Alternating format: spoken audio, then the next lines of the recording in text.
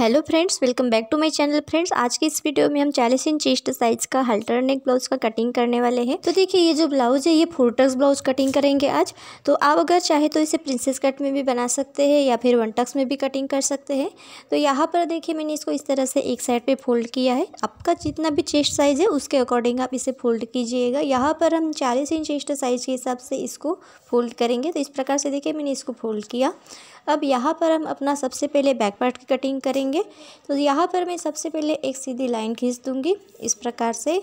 तो फ्रेंड्स, आप अगर मेरे चैनल पर पहली बार आए हैं और अभी तक चैनल को सब्सक्राइब नहीं किए तो प्लीज़ चैनल को सब्सक्राइब करके बेल आइकन को प्रेस कर लीजिएगा और वीडियो को एक लाइक ज़रूर कर दीजिएगा। तो देखिए, यहाँ पर मैंने एक सीधी लाइन खींच दी है। अब इस लाइन से हम देखिए अपने ब्लाउज का लंबाई का मार्किंग करेंगे। जितना भी आपका ब्लाउज का तैयार लंबाई है, उसमें आप एक इंच प्लस करके ले लीजिएगा। यहाँ पर मेरे ब्लाउज का तैयार लंबाई है साढ़े चौदह इंच तो उसमें मैंने एक इंच प्लस किया और इस प्रकार से साढ़े पंद्रह इंच पर मार्किंग किया। अब यहाँ पर एक सीधी लाइन खींच देंगे इस प्रकार से।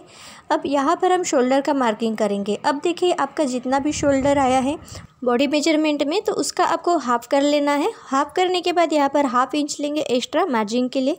अब इसी प्रकार से हमें सेम मार्किंग नीचे की तरफ़ भी कर लेना है। तो देखिए, जितना हमने यहाँ पे मार्किंग किया, उतना ही हमें यहाँ भी कर लेना है। तो इस प्रकार से हमने एक निशान लगाया है। अब यहाँ पर एक सीधी लाइन खींच देंगे स्केल की मदद से। तो देखिए, ये हो गई हमारी आर्मोल वाली लाइन। अब देखिए, जितना हमारा यहाँ पे शोल्डर है मार्जिंग सहित, उतना हमें यहाँ ले लेना है। तो यहाँ मैं पावने आठ इंच पर मार्किंग करूँगी इस प्रकार से। अब सेम मार्किंग हम इस तरफ़ भी कर लेंगे। अब यहाँ पर हम एक सीधी लाइन खींच देंगे। तो इसको देखिए, इस प्रकार से सीधा कर लेंगे।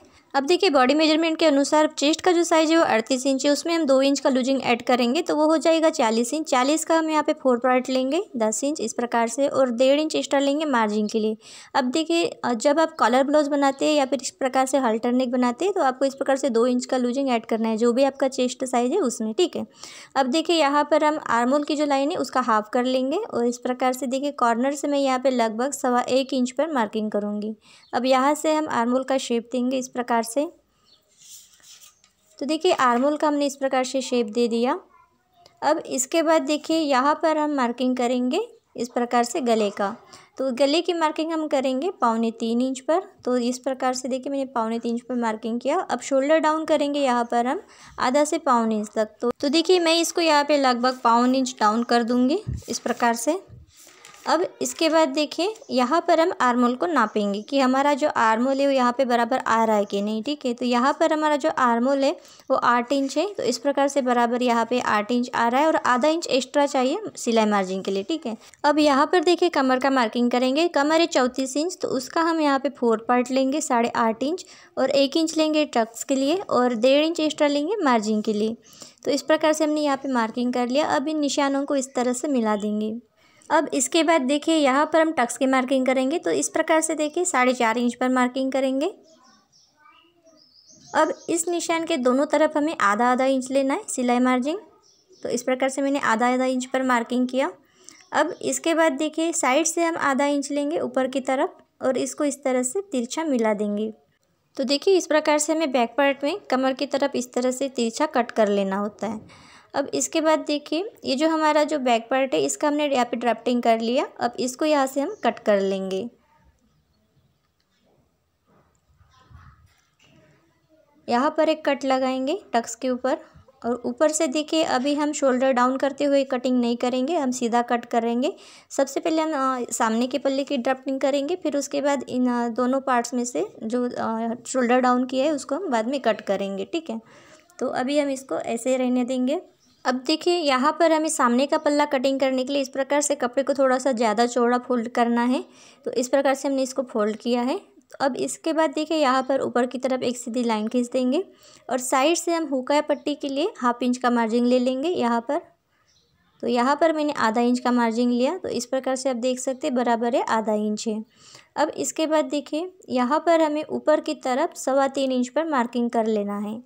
तो इस प्रकार से देखिए मैंने सवा तीन इंच पर मार्किंग किया और इस पर यहाँ पे एक सीधी लाइन खींच देंगे।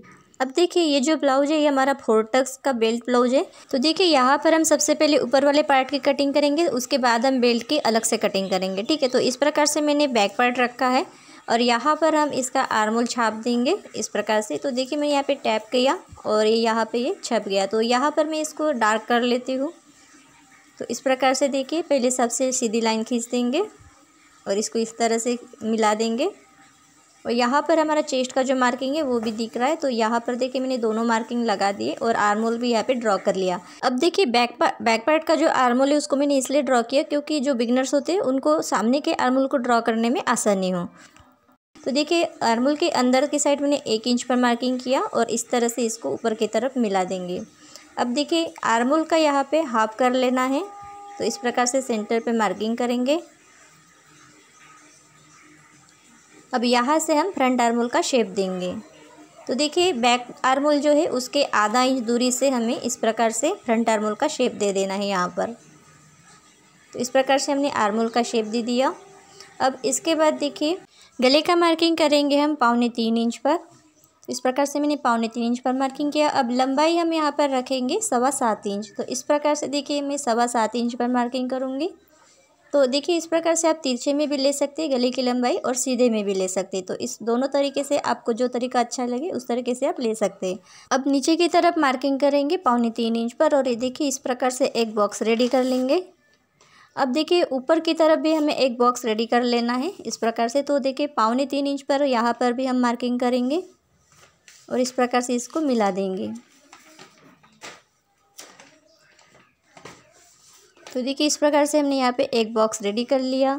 अब देखिए, इसके बाद देखिए, ये वाली जो लाइन है, इसके ऊपर हमें सवा इंच पर मार्किंग करना है और ऊपर वाली जो लाइन है, उसके ऊपर हमें एक इंच पर मार्किंग करना है। अब इन दोनों निशानों को हम इस तरह से मिला देंगे। अब इसके बाद देखिए, हम गले को ड्रॉ कर लेंगे। तो सबसे पहले देखिए, आपको इस प्रकार से डॉट डॉट करके गले का शेप देना है। अगर आपको परफेक्ट तरीके से शेप देना नहीं आता है तो इसी प्रकार से आपको डॉट डॉट करके शेप देना है सबसे पहले। अब इसको हम यहाँ पर डार्क कर लेंगे। तो इस प्रकार से देखिए मैंने इसको डार्क कर लिया। तो ये हमारा इस प्रकार से मटका गले का शेप हो गया। यहाँ पर मैंने मटका गले का शेप बनाया। आप चाहे तो किसी और शेप का भी गला बना सकते हैं। अब देखिए यहाँ पर हम मार्किंग करेंगे बस्ट पॉइंट का। तो इस प्रकार से देखिए यहाँ पर जो हमारा जो बस्ट पॉइंट है, वो पावने दस इंच है। तो मैं यहाँ पे सवा दस इंच पर मार्किंग करूँगी। हाफ़ इंच एक्स्ट्रा लेंगे, सिलाई मार्जिन का जो हमारा शोल्डर की तरफ़ चला जाएगा। अब इस मार्किंग के बाद देखिए हमें मार्किंग करना है यहाँ पर साढ़े तेरह इंच पर। ठीक है तो इस प्रकार से हम साढ़े तेरह इंच पर मार्किंग करेंगे। तो अब सेम मार्किंग हम इस तरफ़ भी कर लेते हैं। अब यहाँ पर हम एक सीधी लाइन खींच देंगे। तो देखिए, तीनों निशानों को मिलाते हुए एक हम लाइन खींच देंगे यहाँ पर इस प्रकार से। अब देखिए, यहाँ पर हमारा जो बॉडी से मेज़रमेंट आया था, वो अड़तीस इंच चेस्ट आया था और उसमें हमने दो इंच का लूजिंग ऐड किया तो वो हो गया चालीस। चालीस का हमने यहाँ पे फोर्थ पार्ट लिया था, दस इंच लेकिन देखिए, आपको क्या करना है, जितना आपका बॉडी से मेज़रमेंट आता है चेस्ट का, उसका आपको दसवा हिस्सा लेना है यहाँ पर। तो यहाँ पर हम लगभग यहाँ पर चार इंच पर मार्किंग करेंगे। तो इस प्रकार से देखिए, मैंने चार इंच पर मार्किंग किया। अब देखिए, हमने जो चार इंच पे मार्किंग किया, उसके अंदर की तरफ़ हमें यहाँ पर आधा इंच ले लेना है। तो इस प्रकार से देखिए, हम आधा इंच पर मार्किंग करेंगे और बस्ट पॉइंट के साथ इसको मिला देंगे। अब देखिए, यहाँ पर हम टक्स की मार्किंग करेंगे। तो यहाँ पर मैंने दो इंच लिया टक्स के लिए और इसको इस तरह से मिला देंगे। अब देखिए, इसको जो हमने इसको मिला दिया है, इसको बिल्कुल सीधा नहीं रखना है। तो इसको हमें हल्का सा इस तरह से शेप देना है। तो इसको देखिए, इस प्रकार से हल्का सा जो हम प्रिंसेस कट ब्लाउज़ में देते हैं, उस प्रकार से हल्का सा शेप दे देना है। क्योंकि देखिए सीधा सीधा रखेंगे तो आपकी जो ब्लाउज़ में नोक बन जाएगा टक्स में तो इस प्रकार से आपको हल्का सा शेप दे देना है। अब इसका, इस प्रकार से देखिए सेंटर वाले पॉइंट से हमें डेढ़ इंच की दूरी पर इस तरह से मार्किंग करना है साइड में और इस तरह से यहाँ पे देखिए, दोनों तरफ़ दो दो पॉइंट का मार्जिंग देना है। तो ये हमारा दूसरा टक्स हो गया। अब देखिए मार्जिंग छोड़ के हमें इस तरह से टेप को रखना है और यहाँ पर देखना है कि ये कितना आ रहा है। तो ये यहाँ पर पौने चार इंच आ रहा है। अब पौने चार इंच को हम दूसरे तरफ़ रखेंगे और इस तरह से हम कमर का मार्किंग करेंगे साढ़े आठ इंच पर और डेढ़ से पौने दो इंच या दो इंच भी आप एक्स्ट्रा यहाँ पे मार्जिंग ले सकते हैं। एक्स्ट्रा मार्जिंग रखेंगे तो सिलाई करते वक्त आप इसको बाद में कट भी कर सकते हैं। अगर कम पड़ गया तो वो ठीक नहीं होगा। अब देखिए, इसी प्रकार से हमें ऊपर की तरफ़ भी एक इंच ले लेना है एक्स्ट्रा और इसको हम इस तरह से मिला देंगे। तो नीचे की तरफ़ मैंने इसको मिला दिया। अब देखिए, बाद में आप इसको कट कर सकते हैं। अगर एक्स्ट्रा हो भी गया तो लेकिन कम नहीं पड़ना चाहिए। ठीक है इस बात का आपको ध्यान रखना है। अब यहाँ पर देखिए, हम इसका सेंटर निकालेंगे इस प्रकार से। और देखिए, जो सेंटर पे हमने मार्किंग की है, उसके नीचे की तरफ़ हमें आधा इंच ले लेना है। देखिए, अगर आप चाहे तो नीचे से डायरेक्ट दो या ढाई इंच पर भी मार्किंग कर सकते हैं इस प्रकार से, ठीक है? तो मैंने सेंटर से इसको मार्किंग किया है। अब यहाँ पर एक सीधी लाइन खींच देंगे। और देखिए, बस्ट पॉइंट से बिल्कुल दो इंच की दूरी पर एक मार्किंग कर लेना है इस प्रकार से। और इसके दोनों तरफ़ हमें इस तरह से दो पॉइंट का मार्जिंग लेना है सिलाई का। तो आप देख सकते हैं, मैंने दोनों साइड के टक्स में दो दो पॉइंट का बस मार्जिंग लिया है सिलाई के लिए। अब इसके बाद देखिए, आर्मोल के ऊपर हम इस तरह से टेप को रखेंगे और ऊपर की तरफ़ हम यहाँ पे एक इंच पर मार्किंग करेंगे। और देखिए स्केल को इस प्रकार से रखेंगे और इस निशान को मिलाते हुए एक सीधी लाइन खींच देंगे। अब देखिए इसके दोनों तरफ़ हमें आधा आधा इंच का मार्जिंग लेना है। इस प्रकार से तो आधा आधा इंच पर हमने मार्किंग किया तो ये हमारा एक इंच हो जाएगा। अब देखिए सेंटर से हम यहाँ पे दो इंच पर मार्किंग करेंगे बस्ट पॉइंट से। अब इस निशान के साथ देखिए इन दोनों निशानों को मिला देंगे। तो इस प्रकार से हमारा एक इंच का टक्स हो गया। अब इसके बाद देखिए, यहाँ पर देखिए, इस तरफ़ ये जितना है, उतना ही ये दूसरे साइड भी होना चाहिए। तो देखिए, यहाँ पर ये लगभग साढ़े तीन इंच है तो उतना ही ये हमारे दूसरे वाले लाइन पर भी होना चाहिए। तो इसको देखिए, हम यहाँ पर इस तरह से साढ़े तीन इंच पर मार्किंग करेंगे और यहाँ से देखिए थोड़ा सा यहाँ पर हम आरमोल का शेप देंगे नीचे की तरफ़ उतारते हुए। तो यहाँ पर मैं इसको बिल्कुल दो पॉइंट नीचे की तरफ़ उतारूँगी इस प्रकार से। तो ये हमारा नया आर्मोल यहाँ पे रेडी हो गया, ठीक है? अब चलिए इसको हम यहाँ पे कट कर लेते हैं। तो देखिए फ्रेंड्स यहाँ पर जो शोल्डर डाउन करते हैं हम, उसको मैंने अभी डाउन नहीं किया है तो वो मैं स्टिच करते वक्त कर लूँगी। अगर आप चाहे तो पहले भी डाउन कर सकते हैं, मैंने अभी इसमें डाउन नहीं किया है। ठीक है तो आप कर लीजिएगा। देखिए, आप चाहे तो एक इंच या फिर पावन इंच तक शोल्डर को डाउन कर सकते हैं कॉलर नेक हाल्डर नेक ब्लाउज में। ठीक है, अगर आप बोट नेक ब्लाउज कटिंग करते हो तो उसमें आपको सिर्फ़ आधा इंच का शोल्डर डाउन करना है। तो यहाँ पर देखिए मैंने फ्रंट पार्ट और बैक पार्ट दोनों पार्ट्स में से मैंने शोल्डर को अभी कट किया नहीं है डाउन करते हुए, उसको मैं बाद में कट कर लूँगी स्टिच करते वक्त। अगर आप स्टिचिंग का वीडियो देखना चाहते हैं तो प्लीज़ कमेंट बॉक्स में कमेंट करके बताइएगा। वैसे भी मैं आपको इसका स्टिचिंग का वीडियो ज़रूर शेयर करूँगी। उसके लिए आपको क्या करना है चैनल को सब्सक्राइब करना है और नोटिफिकेशन बिल को ऑन कर लेना है, ठीक है। अब देखिए ये जो हमारा आर्मर वाला टक्स है इसको अब जब स्टिच लगाएँगे तो यहाँ पर जो एक्स्ट्रा फैब्रिक आपको दिख रहा है, उसको हम बाद में कट कर लेंगे, ठीक है? अब देखिए, ये जो मेन टक्स है, यहाँ पर मैंने कटिंग कर ली है और देखिए, इस तरफ़ जितना आ रहा है, उतना ही हमारा ये दूसरे तरफ़ आना चाहिए। तो हम यहाँ पर नाप लेंगे और देखिए, ये सवा तीन इंच आ रहा है तो दूसरी तरफ़ भी सवा तीन इंच ही आना चाहिए। अब यहाँ पर जो एक्स्ट्रा फैब्रिक होता है, नीचे की तरफ़, उसको यहाँ से हम कट कर लेंगे। तो यहाँ पर मैं एक सीधी लाइन खींच दूँगी ताकि ये कम ज़्यादा ना हो। तो इस प्रकार से स्केल से सीधी लाइन खींच देंगे और एक्स्ट्रा फैब्रिक को कट कर लेंगे। तो देखिए, बिल्कुल थोड़ा सा यहाँ पे हमें कट करना पड़ा।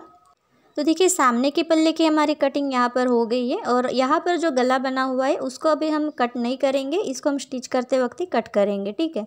अब इसके बाद देखिए, हम यहाँ पे अस्तिन की कटिंग कर लेते हैं, उसके बाद बेल्ट की कटिंग करेंगे। जो फैब्रिक बचेगा, उससे हम बेल्ट निकाल लेंगे। तो सबसे पहले अस्तिन की कटिंग करेंगे। तो देखिए, यहाँ मैंने नीचे की तरफ़ एक सीधी लाइन खींच दी है और उस लाइन के ऊपर की तरफ़ हमें कपड़े को फोल्ड करने के लिए एक इंच ले लेना है एक्स्ट्रा। देखिए, आपके पास अगर पर्याप्त कपड़ा है तो आप सवा इंच तक ले सकते हैं। मेरे पास यहाँ पे कपड़ा कम है तो मैंने सिर्फ़ एक इंच ही लिया है। अब इसके बाद देखिए, अस्तिन की जितनी लंबाई है उसमें हमें आधा इंच प्लस करके यहाँ पर लेना है तो दस इंच हमें अस्तिन की लंबाई रखनी है। उसमें मैंने आधा इंच एक्स्ट्रा रखा है सिलाई मार्जिन का। तो इस प्रकार से साढ़े दस इंच पर मैंने मार्किंग किया। अब देखिए, यहाँ पर एक सीधी लाइन खींच देंगे। अब सीधी लाइन खींचने के बाद ऊपर से हमें स्लीव की कैप हाइट रखनी है साढ़े तीन इंच। तो साढ़े तीन इंच पर हम मार्किंग करेंगे इस प्रकार से और यहाँ पर एक सीधी लाइन खींच देंगे। अब इतना हो जाने के बाद क्या करना है? मोरी का मार्किंग करना है। तो मोरी है पौने छः इंच तो पौने छः इंच पर एक निशान लगाएँगे और डेढ़ इंच एक्स्ट्रा लेंगे मार्जिन के लिए। और देखिए इस तरह से इसको तिरछा कर देंगे। और यहाँ पर हम आर्मोल का मार्किंग करेंगे। तो आर्मोल है आठ इंच तो इस प्रकार से आठ इंच पर मार्किंग करना है और डेढ़ इंच एक्स्ट्रा लेंगे मार्जिन के लिए। अब इन निशानों को देखिए, हम इस तरह से मिला देंगे। ऊपर की तरफ़ तिरछा मिलाएँगे और नीचे की तरफ़ देखिए, इस तरह से दोनों निशानों को मिला देंगे। अब देखिए, जितना आपका आर्मोल आया है, उसका आपको हाफ़ कर लेना है यहाँ पर और ऊपर की तरफ़ आधा इंच लेना है। आधा इंच पर एक निशान लगाएँगे और इस निशान को मिलाते हुए हम अस्तिन की गोलाई देंगे। तो इसको हम देखिए, आर्मोल से ठीक नीचे की तरफ़ दो पॉइंट उतारेंगे इस प्रकार से। ज़्यादा नहीं उतारना है, बिल्कुल दो पॉइंट नीचे उतारना है, ठीक है? ज़्यादा उतारेंगे तो वो आपका अस्तिन में प्रॉब्लम आ सकता है, ठीक है? इस बात का आपको ध्यान रखना है और अब इसको हम यहाँ पर कट कर लेते हैं। तो देखिए, अस्तिन को मैंने इस प्रकार से यहाँ पे कट कर लिया और सेंटर पे कट लगाएँगे आर्मोल पर एक कट लगाएँगे और इस प्रकार से फ्रंट आर्मोल का शेप देंगे। तो फ्रंट आर्मोल को अभी हम कट नहीं करेंगे। आपको पता होगा, मैं हमेशा स्टिचिंग करते वक्त ही आर्मोल की कटिंग करती हूँ, ठीक है? अब इसके बाद देखिए, यहाँ पर हम बेल्ट की कटिंग करेंगे। अब जितना कपड़ा हमारे पास बचा है, उतना ही यहाँ पर लेंगे और देखिए, जो अलग से मेरे पास और कपड़ा बचा था, उसको मैंने ऊपर की तरफ़ रख दिया इस प्रकार से और यहाँ पर एक सीधी लाइन खींच देंगे। अब सबसे पहले क्या करेंगे? देखिए, हुकाई पट्टी के लिए आधा इंच का मार्जिन ले लेना है इस प्रकार से। अब देखिए, हमें यहाँ पे बेल्ट की चौड़ाई का मार्किंग करना है। तो ढाई इंच हमारे बेल्ट की चौड़ाई है। उसमें आपको एक इंच का मार्जिन प्लस करके ले लेना है। ठीक है तो इस प्रकार से हम एक इंच एक्स्ट्रा लेंगे सिलाई मार्जिन के लिए। मार्जिंग ऐड करने के बाद ये हो गया साढ़े तीन इंच। तो इस प्रकार से सेम मार्किंग हम दूसरी तरफ़ भी कर लेंगे। तो देखिए, इस प्रकार से साढ़े तीन इंच पर मार्किंग करेंगे और सीधा मिला देंगे दोनों निशानों को। अब इसके बाद देखिए, हमें यहाँ पे अपने कमर का फोर पार्ट लेना है, ठीक है? तो यहाँ पर हम सबसे पहले क्या करेंगे, ऊपर की तरफ़ एक इंच ले लेते हैं और यहाँ पर इस तरह से शेप देंगे। तो देखिए, इस तरह से हमने यहाँ पे शेप दे दिया। अब इसके बाद हम कमर का फोर पार्ट लेंगे। तो कमर है चौंतीस इंच, चौंतीस का हम यहाँ पे फोर पार्ट लेंगे साढ़े आठ इंच और इस तरह से एक्स्ट्रा मार्जिंग रखेंगे सिलाई का। तो यहाँ पे थोड़ा सा एक्स्ट्रा मार्जिंग ही रखिएगा क्योंकि देखिए बेल्ट जब हम अटैच करते हैं ऊपर वाले पार्ट के साथ तो कब कभी कभी वो क्या होता है कि छोटा पड़ जाता है तो थोड़ा सा एक्स्ट्रा मार्जिंग रखेंगे तो उसको आप बाद में कट भी कर सकते हैं, ठीक है? तो इस प्रकार से देखिए हमने यहाँ पर बेल्ट की कटिंग कर ली है। तो देखिए पूरे पार्ट्स की हमने यहाँ पर कटिंग कर ली है। तो इस प्रकार से हमारा जो हाल्टर नेक ब्लाउज का कटिंग पूरा हो गया है। यहाँ पर जो भी अब बाकी की जो चेंजेस करने हैं, वो हम स्टिचिंग करते वक्त करेंगे। तो स्टिचिंग का वीडियो मैं शेयर करूँगी तो प्लीज़ आप चैनल को अभी तक सब्सक्राइब नहीं किया है तो प्लीज़ चैनल को सब्सक्राइब कर लीजिएगा। जब भी मेरा अगला वीडियो आएगा तो वो आपको सबसे पहले देखने को मिल जाएगा, ठीक है? तो आज की ये वीडियो आपको कैसे लगी प्लीज़ कमेंट बॉक्स में कमेंट करके ज़रूर बताइएगा। और वीडियो को एक लाइक ज़रूर कर दीजिएगा और ज़्यादा से ज़्यादा शेयर कीजिएगा। तो आज की वीडियो में बस इतना ही, मिलते हैं अगली वीडियो में। Thank you